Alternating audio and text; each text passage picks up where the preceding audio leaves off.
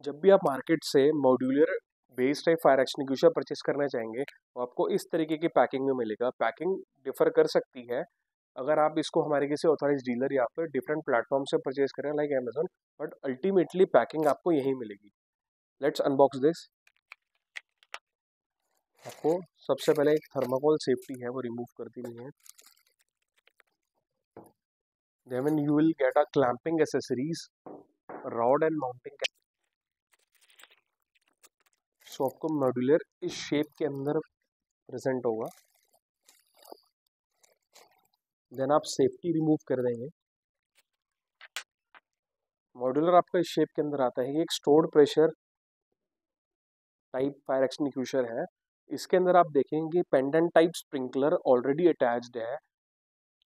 इसका operating criteria क्या है? 68 डिग्रीज का टेम्परेचर इसको मिलेगा। ये बल्ब यहाँ से बर्स्ट आउट होगा। और सारा मीडियम यहीं से बाहर आ जाएगा। और रही बात इसके ऑपरेटिंग कंडीशंस की, ये प्रेशराइज्ड है, ये बिल्कुल इसका प्रेशर ग्रीन जोन के अंदर है। It is okay to operate and install इसको इंस्टॉल करने के लिए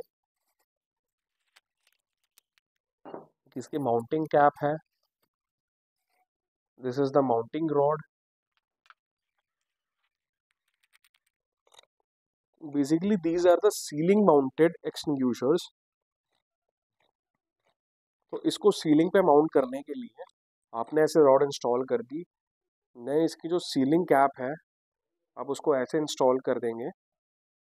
एंड देन इसको सीलिंग पे माउंट कंडक्ट करने के लिए through with the help of screws आप इसको ऐसे इंस्टॉल कर देंगे।